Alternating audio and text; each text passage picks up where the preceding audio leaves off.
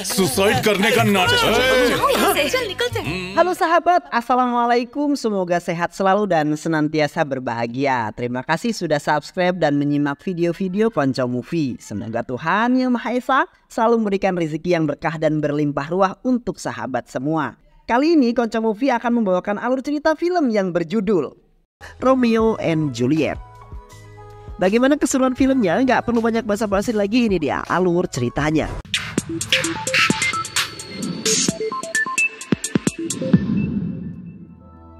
Di awal film kita akan diperlihatkan dengan seorang pria gagah dan juga tampan bernama Kartik. Ia berprofesi sebagai seorang pelatih atau trainer di sebuah tempat kebugaran atau bahasa kerennya gym.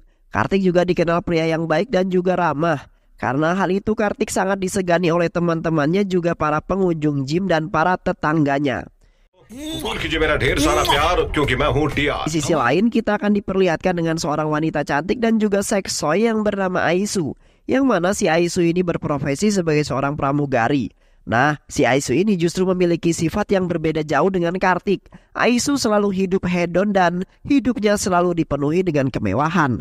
Berbanding terbalik dengan Kartik yang selalu sederhana. Singkat cerita pada suatu hari di sebuah pesawat terlihat para pramugari sedang menunggu penerbangan. Karena penerbangan harus ditunda karena harus menunggu beberapa penumpang VIP. Tak berselang lama seorang penumpang tampan dan gagah masuk ke pesawat dan pria itu adalah Kartik.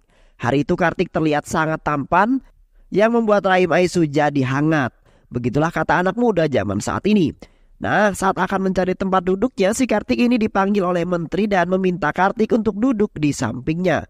Karena ternyata Kartik ini pernah melatih menteri tersebut di gym. Karena hal itu mereka pun terlihat akrab. Sementara itu Aisu yang melihat hal tersebut mengira si Kartik ini adalah ajudan menteri. Untuk curi perhatian Kartik, si Aisu ini kemudian menawarkan minuman untuk mereka berdua. Saat itu juga Aisu benar-benar dibuat terpana dengan ketampanan Kartik. Kemudian Aisu pergi ke kamar mandi untuk merapikan dirinya supaya terlihat cantik. Hal itu Aisu lakukan untuk menarik perhatian Kartik. Akan tetapi saat itu Aisu akan tebar pesona, tapi si Kartik ini malah tidur, yang kemudian membuat Aisu pun gagal curi perhatian Kartik. Karena hal tersebut kemudian membuat Aisu sangat kesal. Bahkan kekesalannya itu terbawa sampai pulang ke kos-kosannya. Di sana Aisu ini marah-marah kepada teman-temannya. Lah bukannya Assalamualaikum ini kok malah ngamuk-ngamuk. Ada apa?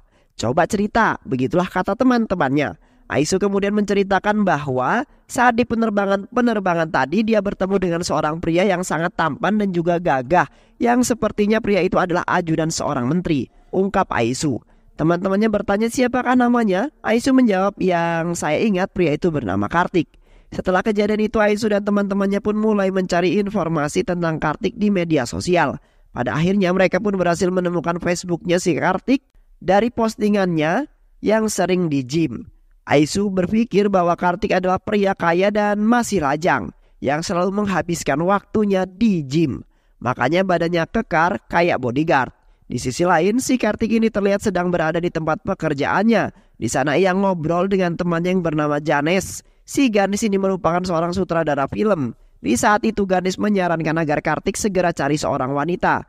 Kan di gym ini banyak cewek, kamu tinggal pilih. Akan tetapi si Kartik ini malah berkata, tenang aja kalau emang udah jodoh mah gak akan ke mana-mana. Lagi pula semua wanita yang datang ke gym tidak ada yang membuat hatinya serseran.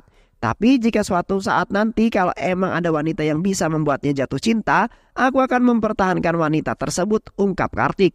Kemudian si Ganes ini berkata kalau dia ingin meminta bantuan Kartik karena dia sedang membuat sebuah proyek film dan pemeran utamanya akan berperan sebagai pelatih gym. Karena hal tersebut, Ganes meminta pada Kartik untuk menolongnya membelikan pakaian dan perlengkapan untuk syuting. Ganes dimaksud memberikan kartu kreditnya kepada Kartik dan di saat yang bersamaan, Aisu dan teman-temannya ini terus memata-matai Kartik. Mereka membuntuti Kartik ke mana pun Kartik pergi. Dan singkat cerita mereka melihat Kartik di sebuah mall sedang membeli barang-barang mewah yang mereka pikir itu untuk keperluan pribadi Kartik. Padahal kan aslinya itu semua hanya untuk properti syuting.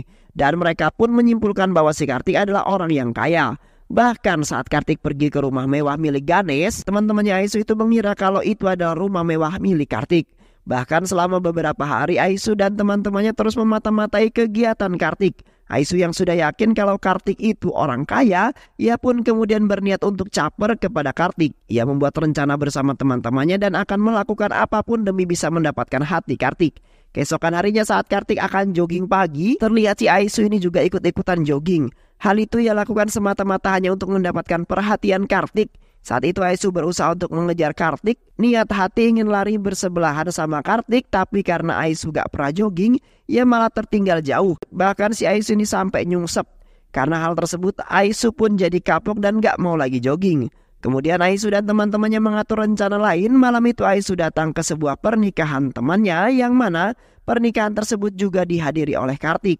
Malam itu Aisu mencoba menarik perhatian Kartik akan tetapi teman-temannya juga malah dengan Kartik yang kemudian membuat mereka pun lupa dengan semua rencana mereka. Tak berhenti sampai di sana, Isu dan lagi-lagi mencoba menarik perhatian namun sialnya lagi-lagi rencananya harus gagal dan membuatnya terlihat konyol.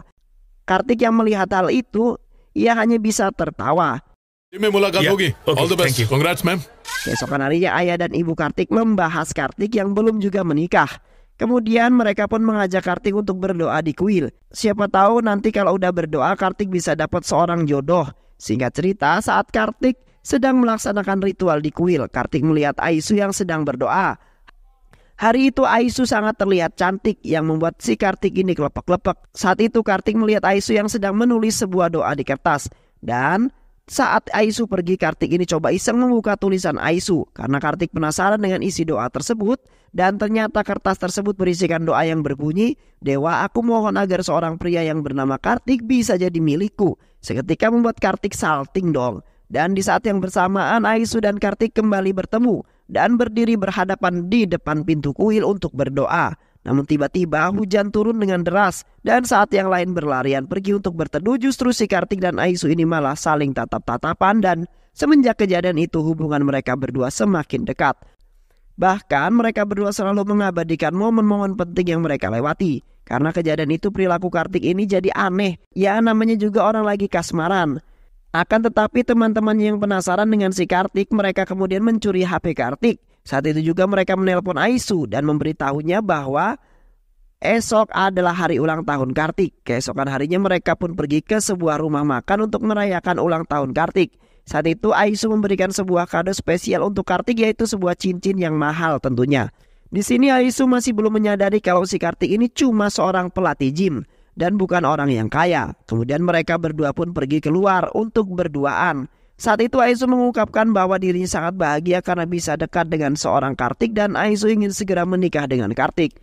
Karena si Aisu ini mengira kalau Kartik adalah orang kaya, jadi setelah nikah nanti Aisu gak usah capek-capek kerja lagi. Mendengar hal tersebut, Kartik cuma bilang, kalau kamu siap dan percaya, maka saya akan melakukannya. Dan Kartik berkata bahwa besok ia akan berbicara dulu sama keluarganya dan setelah itu baru ketemu sama keluarga Aisu. Akan tetapi saat itu Aisu berkata bahwa ia sudah tidak memiliki siapa-siapa lagi di dunia ini karena orang tuanya sudah lama meninggal ketika Aisu berumur 3 tahun akibat sebuah kecelakaan. Saat itu Kartik mencoba menenangkan Aisu dan berkata, "Aku akan menjadi pendamping hidupmu dan juga akan menjadi kedua orang tuamu." Hal tersebut kemudian membuat Aisu bahagia dan langsung memeluk Kartik. Keesokan harinya Kartik pergi menemui Ganes dan ia pun menceritakan semua kepada Ganes bahwa ia sedang jatuh cinta pada seorang pramugari cantik yang bernama Aisu dan ia akan bekerja keras untuk mendapatkan banyak duit supaya bisa membiayai Aisu dan segera menikah dengan Aisu. Di sisi lain si Aisu juga terlihat sedang ngobrol dengan teman-temannya dan berkata jika nanti Aisu jadi nikah sama Kartik ia akan berhenti kerja aja karena Aisu berpikir bahwa setelah menikah nanti Kartik pasti gak mau istrinya bekerja. Jadi besok Aisu akan membuat surat resign dan berhenti untuk bekerja. Sementara itu si Ganes ini menyarankan kepada Kartik agar Kartik buka usaha sendiri aja, buka gym pribadi gitu. Dan urusan modal ia akan memberikan sebuah pinjaman modal yang banyak yang Kartik perlukan untuk membuka gym sendiri. Kalau nanti Kartik sukses baru Kartik bisa balikin uangnya, ungkap Ganes. Ya juga sih, tapi harus saya pikir-pikir dulu ungkap Kartik. Keesokan harinya saat di perjalanan terlihat si Aisu ini sedang mengetik surat pengunduran dirinya.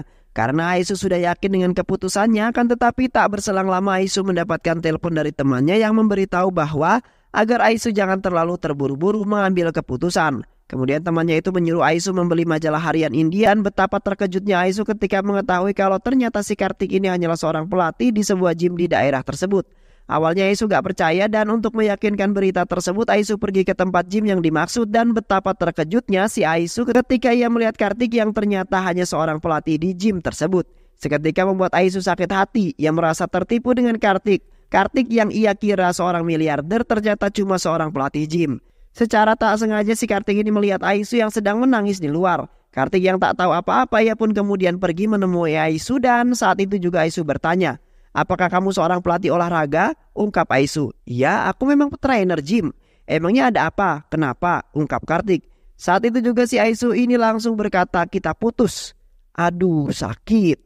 Mendengar hal tersebut Kartik hanya bisa terdiam dan meneteskan air matanya. Kartik nggak tahu apa yang sebenarnya terjadi. Kenapa Aisu tiba-tiba meminta putus? Langsung pergi meninggalkan Kartik. Tanpa berkata sedikit pun Kartik yang mendengar hal tersebut tentu kaget. Karena ia memang benar-benar gak tahu apa-apa. Bahkan saat akan pergi Aisu ini sempat berbalik dan kembali menemui Kartik hanya untuk mengambil kembali cincin yang pernah ia berikan kepada Kartik.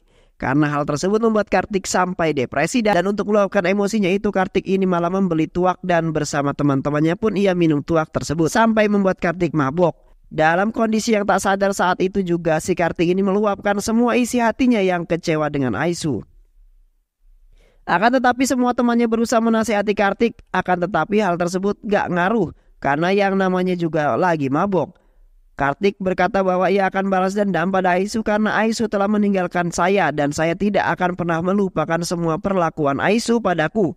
Tak hanya itu Aisu juga telah menghancurkan semua mimpi-mimpiku, ungkap Kartik. Kartik yang malam itu tengah mabuk berat, ia kemudian memutuskan untuk pergi ke kos-kosan Aisu. Kesamanya di sana si Kartik ini langsung masuk ke kamar Aisu karena pengaruh minuman tersebut.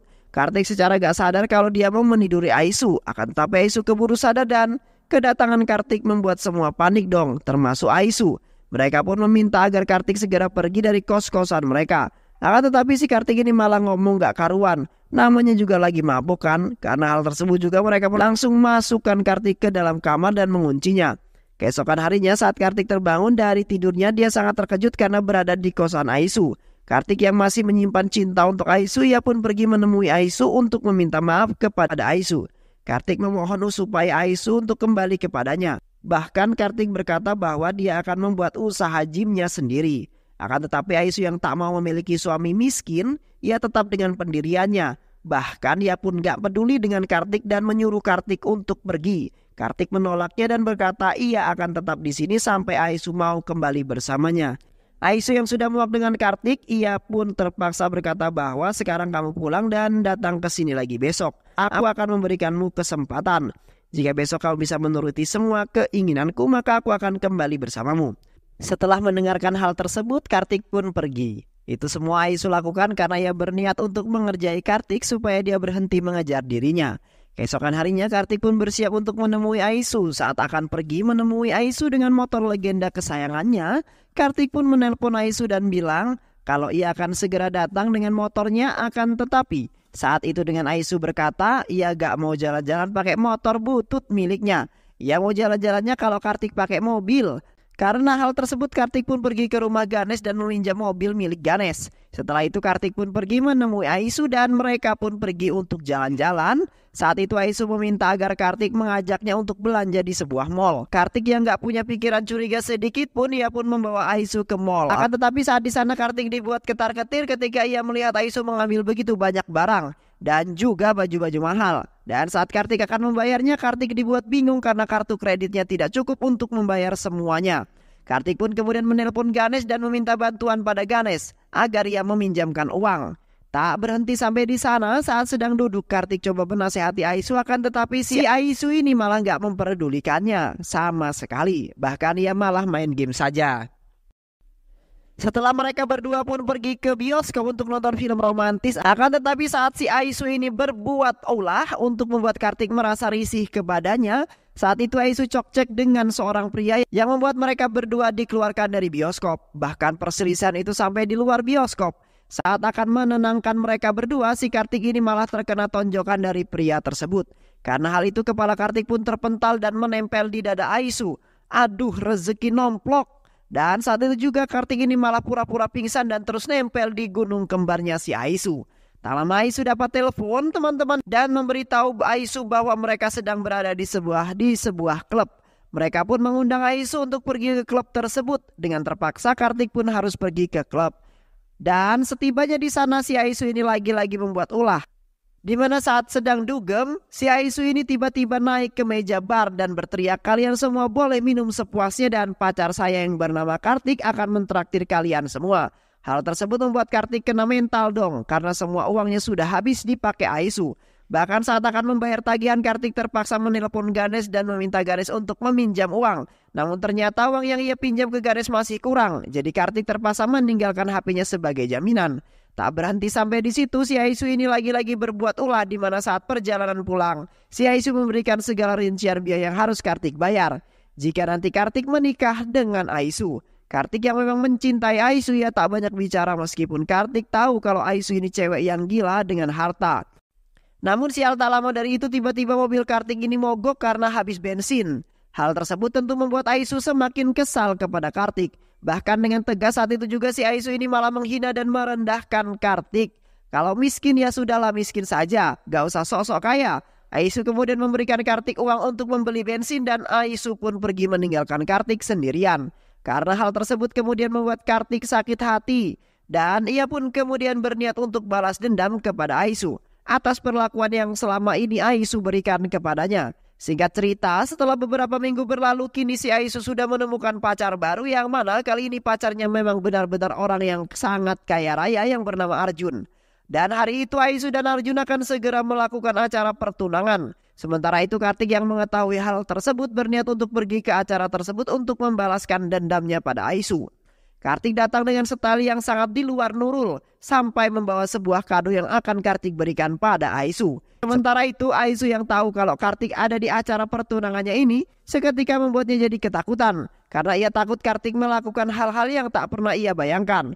Bahkan saat Aisu akan memasang cincin pertunangan di jari Arjun, ia ia terlihat grogi dan gemetaran. Ditambah lagi saat Kartik tiba-tiba berdiri yang membuat si Aisu kaget dan gak sengaja menjatuhkan cincinnya. Kemudian Aisu pun berusaha mengambil kembali cincinnya dan memasangkan lagi di jari Arjun. Aisu kaget ketika ia melihat Kartik yang tiba-tiba menghilang dari pandangan dengan perasaan was-was. Aisu terus mencari keberadaan Kartik yang ternyata Kartik sudah berdiri di belakang mereka. Hal tersebut membuat mereka semua kaget dong. Saat itu Kartik pun langsung memberikan kado tersebut pada Aisu sambil mengucapkan selamat. Dan saat acara pertunangan selesai, Aisu dan teman-temannya sangat senang saat membuka kado-kado yang diberikan oleh para tamu. Namun saat mereka akan membuka kado dari Kartik, seketika suasana jadi hening. Bahkan mereka saling menolak untuk membuka kado dari Kartik. Karena mereka takut Kartik mengirimkan kado yang aneh-aneh. Akan tetapi Aisu yang penasaran pun kemudian memberanikan diri untuk membuka kado tersebut dan ternyata isinya hanya sebuah patung dan kartu ucapan romantis yang membuat Aisu jadi salting. Dan hal tersebut kemudian membuat semua teman-teman Aisu merasa bersalah karena telah memperlakukan Kartik dengan tidak baik. Padahal aslinya Kartik pria yang sangat baik hati. Kemudian teman-temannya pun memberikan saran agar Aisu menelpon Kartik untuk meminta maaf dan mengucapkan terima kasih. Akan tetapi saat itu Kartik ini malah ngajak Aisu untuk ketemuan. Mendengar hal tersebut Aisu tentu saja menolak. Akan tetapi saat itu Kartik beralasan bahwa dia hanya ingin mengembalikan foto-foto mereka dulu. Karena foto-foto itu selalu mengingatkan dia pada Aisu. Singkat cerita mereka pun ketemuan di rumah makan dekat tempat kerja Kartik. Saat itu Kartik sengaja menaruh foto tersebut di sebelah Aisu. Hal itu Kartik lakukan supaya Aisu bisa melihatnya. Saat itu Kartik berkata bahwa dirinya tidak bisa melupakan Aisu dan jika Aisu ingin Kartik melupakannya, Aisu harus membantunya untuk menemukan seorang gadis yang sama seperti dirinya. Namun saat itu Aisu ini menyeletuk. Kalau kamu miskin kayak gini, mana ada cewek yang mau sama kamu? Sambil beranjak pergi, mendengar perkataan tersebut membuat si Kartik marah dan membentak Aisu. Kartik menyuruh mereka berdua untuk duduk kembali. Kemudian, kemarin kamu hadir di hidup saya dan sekarang kamu pergi seenak hati sambil menghina dan mempermainkan perasaan saya. Kamu pikir aku bakalan diem aja? Ungkap Kartik. Aisu coba merayu Kartik tapi semua itu sudah gak mempan. Kartik tetap meminta Aisu mencari seorang gadis seperti dirinya dan Kartik mengancam akan merusak pernikahan Aisu dengan Arjun jika Aisu tidak melakukan perintahnya. Karena hal tersebut Aisu pun terpaksa menyetujuinya. Arjun memberikan waktu dua hari untuk Aisu mencari wanita yang sama seperti dirinya. Hal tersebut kemudian membuat Aisu bingung dong. Ia bingung harus bagaimana. Ia pun kemudian mencari cara supaya Kartik berhenti mengusik dirinya. Dan hari itu Kartik mendapat sebuah telepon dari teman-teman Aisu yang memberitahukan bahwa Aisu akan bunuh diri. Tanpa pikir panjang, Kartik pun pergi ke kosan Aisu dan sesampainya di sana, terlihat ada beberapa preman yang sengaja Aisu sewa untuk menakut-nakuti Kartik. Dan di sana juga terlihat Aisu yang tangannya diperban. Saat Kartik menghampiri Aisu, ia malah ditendang oleh para preman tersebut dengan garangnya. Si preman itu malah mendorong dan menyuruh Kartik pergi.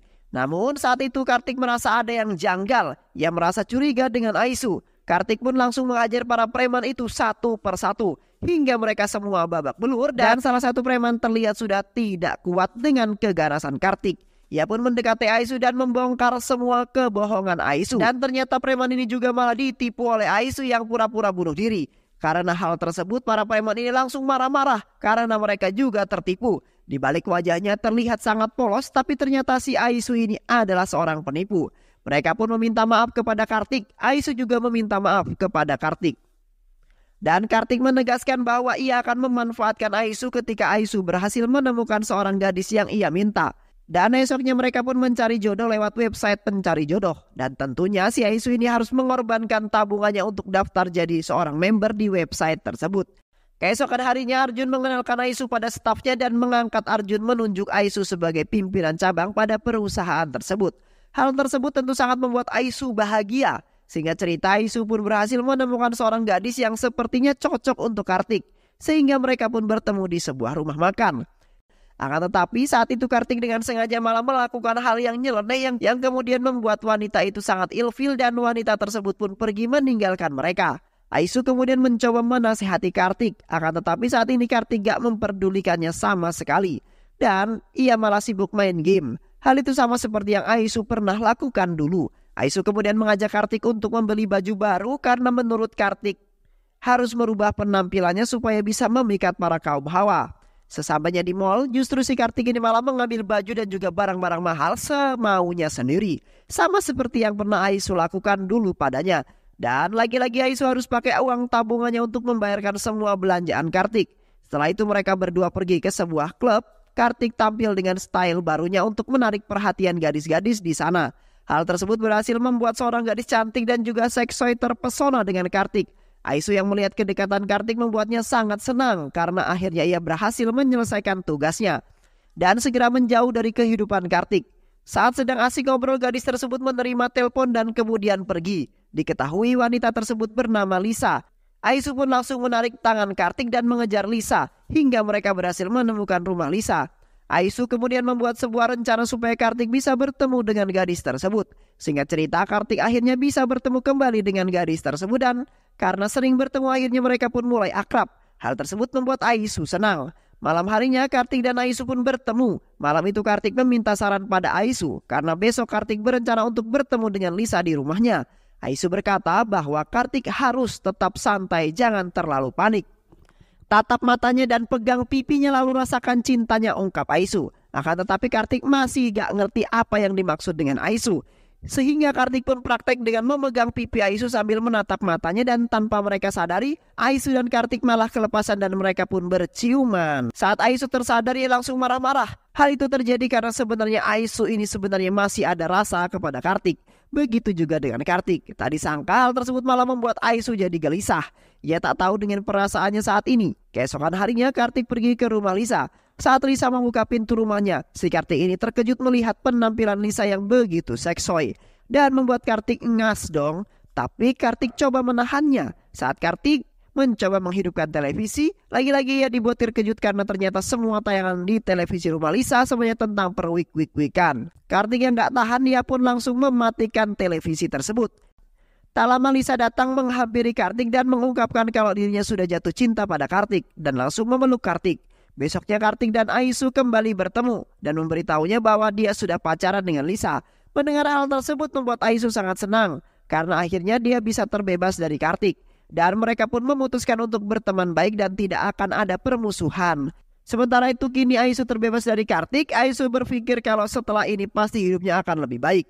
Akan tetapi semua yang ia bayangkan tidaklah sesuai dengan harapan karena setelah Aisu bersama Arjun, dia malah dihadapkan pada sejumlah aturan yang sangat mengganggu aktivitas hidupnya yang kemudian membuatnya menjadi tidak nyaman bahkan dirinya merasa tidak bebas dan merasa dikekang.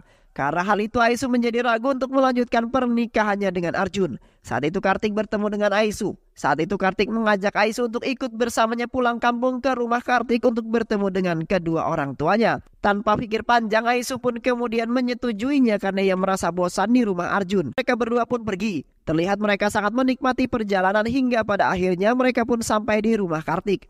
Sesamanya di sana, Isu justru disambut baik oleh keluarga Kartik, bahkan ia diperlakukan kayaknya seorang calon mantu, yang membuat Aisu sangat terharu dan meneteskan air mata. Aisu yang mulai dilema, ia pun kemudian pergi ke kuil untuk berdoa. Aisu meminta agar Tuhan menunjukkan jodoh yang baik untuknya. Namun saat Aisu membuka mata yang ia terkejut melihat Kartik sudah ada di depan matanya. Lagi-lagi Aisu dibuat dilema saat mereka sedang ngobrol dengan Kartik, si Lisa ini muncul dan terlihat mereka begitu mesra. Kartik berkata bahwa besok mereka akan melakukan acara tunangan dan mengundang agar Aisu bisa datang ke acara tersebut. Hal tersebut membuat Aisu terkejut dong dari tatapan mata Aisu. Terlihat ia seperti tidak ikhlas jika Kartik menikah dengan wanita lain karena ia sangat mencintai Kartik. Saat itu Aisu hanya mengucapkan selamat dan meminta maaf kalau besok ia nggak bisa datang karena besok Aisu dan Arjun akan ke London untuk menyiapkan acara pernikahan dan kemudian berpisah. Dalam perjalanan pulang Aisu hanya bisa terdiam bahkan saat Arjun ngajak Aisu ngobrol, si Aisu ini malah diam tidak berkata apa-apa. Setelah yang Aisu lewati selama ini akhirnya ia sadar bahwa ternyata dirinya sangat mencintai Kartik. Bahkan ia selalu teringat dengan kenangan indah bersama Kartik. Singkat cerita, malamnya saat Aisu dalam perjalanan ke bandara, Aisu hanya bisa terdiam sambil duduk menyilangkan kaki dan tentunya hal itu sangat tidak sopan dan Arjun tidak suka hal tersebut. Akan tetapi, saat itu Aisu tiba-tiba menyuruh sopir menghentikan mobilnya dan dia turun dari mobil tersebut sambil berkata, "Maaf Arjun, aku tidak bisa menikah denganmu karena jika aku memaksakan diriku tetap bersamamu, aku akan kehilangan identitasku." Karena semua hal yang ia lakukan tidak disukai Arjun dan artinya berterus terang bahwa sebenarnya dirinya mencintai Kartik. Hal tersebut membuat Arjun kaget. Ia gak percaya kalau Aisu akan melakukan hal tersebut. Sementara itu Aisu yang tak bisa membohongi perasaannya ia kemudian berlari menuju ke pertunangan Kartik dan Lisa. Sesamanya di sana Aisu pun langsung mengungkapkan semuanya kepada Kartik bahwa dirinya sangat mencintai Kartik. Aisu juga sangat menyesal atas perbuatan yang selama ini ia lakukan. Setelah yang kita lewati semua ini, aku sadar bahwa untuk menjalani hidup kita hanya membutuhkan cinta bukan uang. Bahkan Aisu memohon agar Kartik mau kembali bersamanya. Karena ia nggak bisa hidup tanpa Kartik. Dengan suara yang keras si Kartik ini bilang, lepaskan tanganku. Hal tersebut membuat semua tamu undangan langsung terdiam dan memperhatikan mereka. Kartik kemudian berkata bahwa dirinya udah gak melihat Aisu dan meminta agar Aisu pergi dari hidupnya. Akan tetapi Aisu berusaha meyakinkan Kartik dan memberitahunya bahwa dirinya sangat mencintai Kartik. Akan tetapi hal tersebut malah membuat Kartik marah. Bahkan di depan semua orang, Kartik mengatakan ulang semua hinaan juga makian yang pernah Aisu katakan pada dirinya. Kartik kemudian menarik tangan Lisa dan mengajak Lisa pergi. Akan tetapi Aisu terus berusaha mengejar dan menahan Kartik agar Kartik mau memberinya kesempatan. Namun si Kartik ini malah memberikan Aisu uang sebagai ongkos Aisu pulang. Hal tersebut membuat Aisu terdiam pulang sambil menangis menyesali perbuatannya. Namun di tengah suasana sedih tersebut, tiba-tiba Aisu dihampiri oleh beberapa warga dan saat itu semua orang mulai bernyanyi dan menari sambil mengantikan jaket Aisu dengan sari yang bagus sambil mengantar Aisu ke depan panggung. Aisu awalnya bingung namun setelah ia melihat Kartik yang tengah berdiri yang kemudian membuat Aisu sangat bahagia. Dan ternyata semua ini adalah sandiwara yang Kartik lakukan untuk ngetes jika Aisu benar-benar mencintai dirinya. Karena Kartik tahu kalau Aisu pasti akan kembali untuknya. Hal tersebut tentu sangat membantu Aisu bahagia sambil memeluk Kartik. Saat itu Aisu teringat dengan Lisa. Lalu bagaimana dengan Lisa? Ungkap Aisu. Dan ternyata saat itu Lisa mengajak Kartik untuk menikah dengannya. Kartik menolaknya dan berkata kalau dirinya tidak bisa mencintai orang lain selain Aisu. Dan selama ini Lisa telah membantunya untuk menyatukan cinta mereka. Hal tersebut kemudian membuat Aisu sangat terharu dan sangat bahagia tentunya. Hingga pada akhirnya Kartik dan Aisu pun menikah dan mereka pun dapat hidup dengan bahagia. Dan film pun selesai. Jika kau mencintai seseorang, biarkan ia pergi. Kalau ia kembali, ia adalah milikmu. Bila tidak, ia memang tidak pernah jadi milikmu.